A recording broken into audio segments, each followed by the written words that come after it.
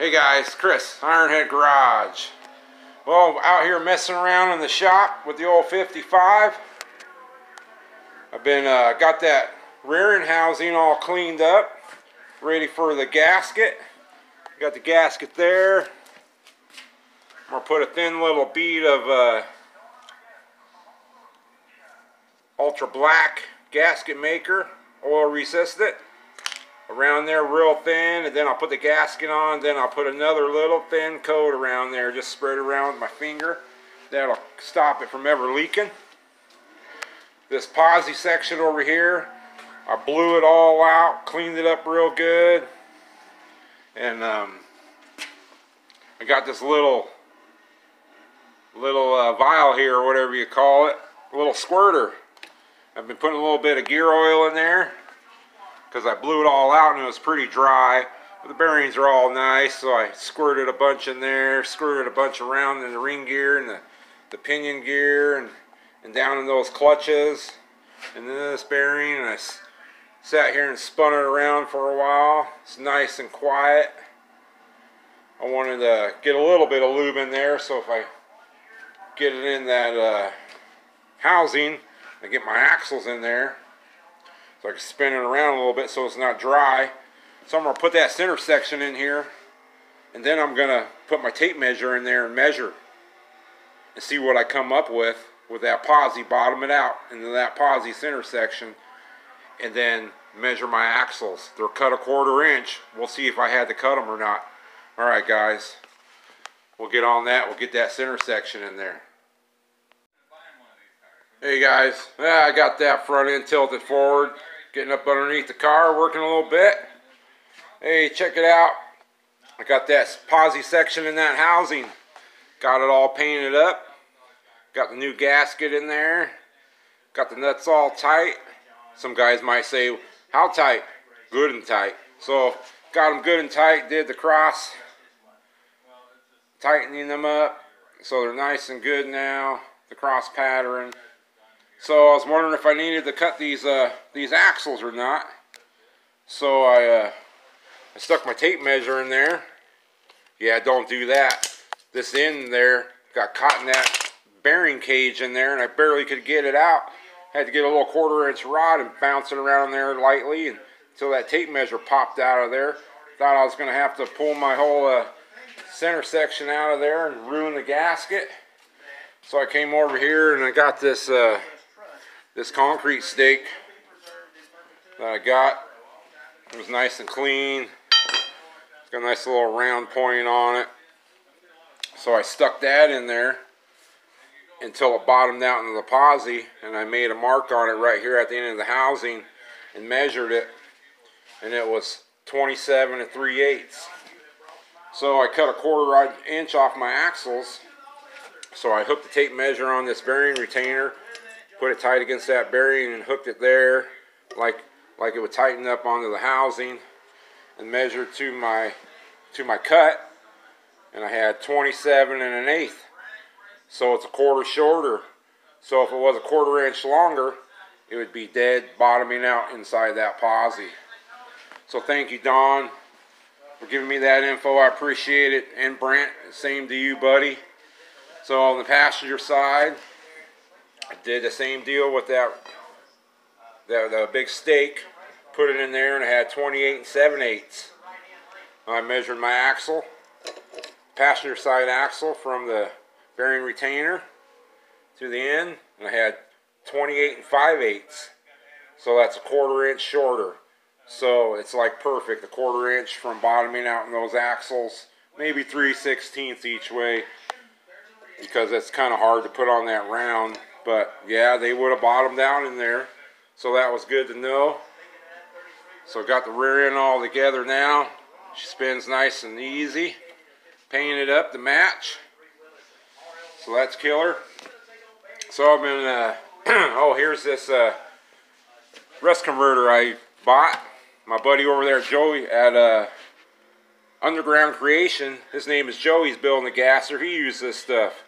Corroseal yeah, it's got some bad reviews. It's got some good reviews, but I think some of the bad reviews are uh, guys using it on like their Toyotas, you know, rusty ass floorboards, or and then driving them down in the salty snow. And sure, anything's going to re-rust right back up, but if you use it right, it's non-toxic.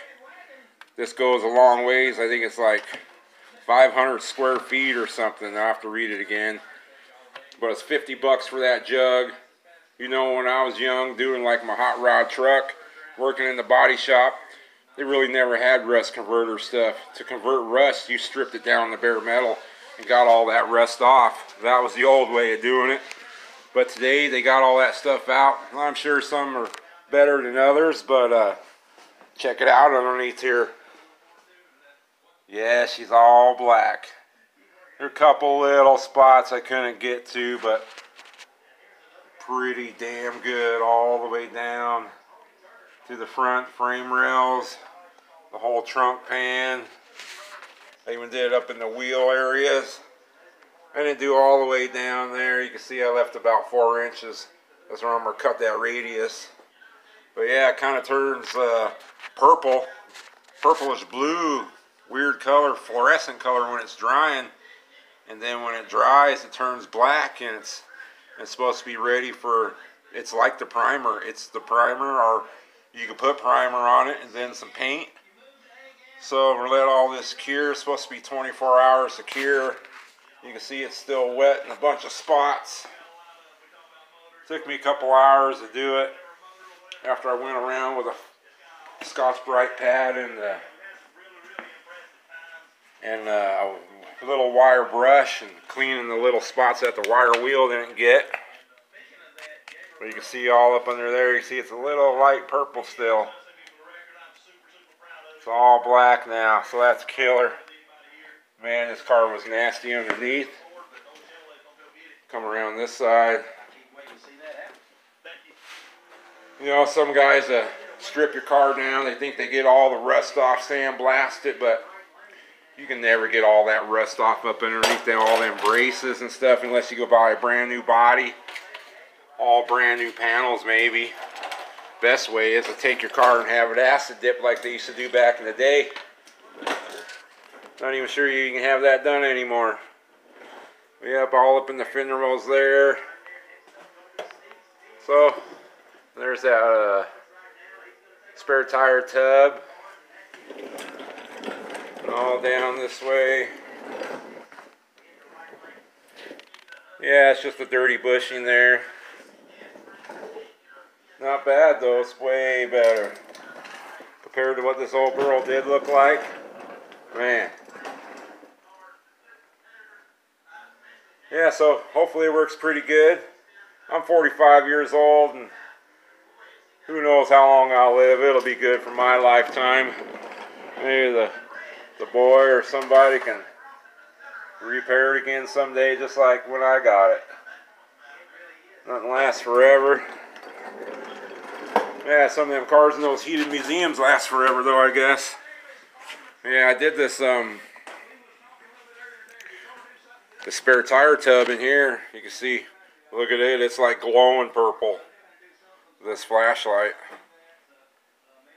But yeah, it's still drying supposed to turn clear when it's on the paint, and it'll turn black when it's on the rust. The rust makes it turn black. So we'll let this stuff cure up and uh, probably get some uh, black satin paint and get up underneath here and paint all this. Yeah, with a respirator on, it was it was actually uh, supposed to be 45 degrees to 100 degrees, dropping from 100 to use this Corroseal. It was 48 degrees today, so I lucked out being able to use it. I'm going to kick that heater on there when it just kicked on. So I set that there and let it dry up underneath there. Let that heat blow up underneath that car and uh, let her cure. It's kind of nice that it's non-toxic fumes won't kill you. Well, that's what the jug says anyway. It's a little stinky, but not bad. And I like some of that stuff. Alright guys, we'll let her cure up, see what she looks like then. Yeah, the silver bullet. Well, guys, I got anxious and uh, I got this bottom of this car all painted up. Man, I ain't been out here for a couple of days. Been fumigating me out here every time I came out, but man, check it out. It's all black underneath there. Look at that. Man, it's almost like a brand new car underneath. Looking pretty good, all painted up. I didn't uh, do my banner fenders here.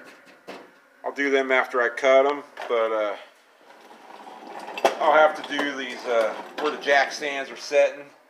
I'll have to paint under there, put a little rust converter off and clean a couple little spots, but man, all the way. The inner rocker panels, got it all painted up. All on the other side.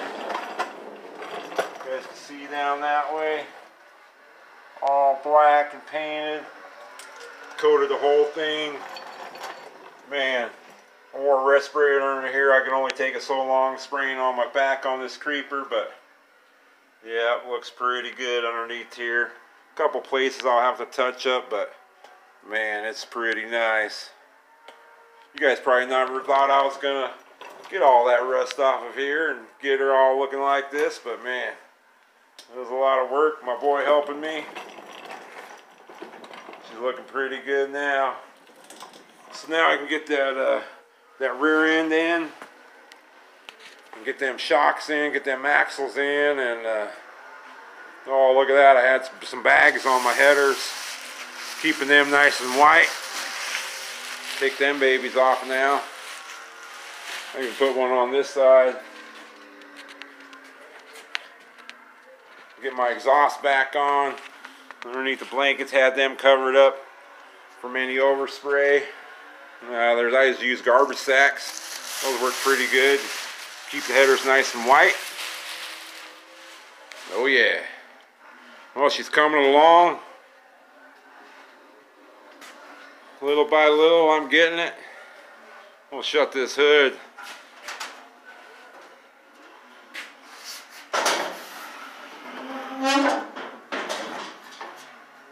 So there you go, guys. There's 55 Nova. So, I wish you guys a happy Thanksgiving. I'll get this video out. It's Tuesday now. I missed a video this weekend. I tried coming on over here and uh, it was just too stinky. I've had this uh, little heater burning, curing that paint.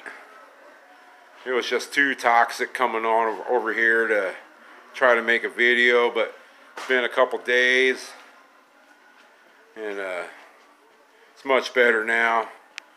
And check it out. Snow outside too. Yeah, winter's here. So we'll uh, get back on this during the holiday vacation. Get that rear end in there, maybe get them shocks on there and them axles in. I start putting them uh, them new brake drums on there and all them brakes. So I appreciate all you guys watching. Thanks for all the support. Appreciate all you guys. Take care. Till next time.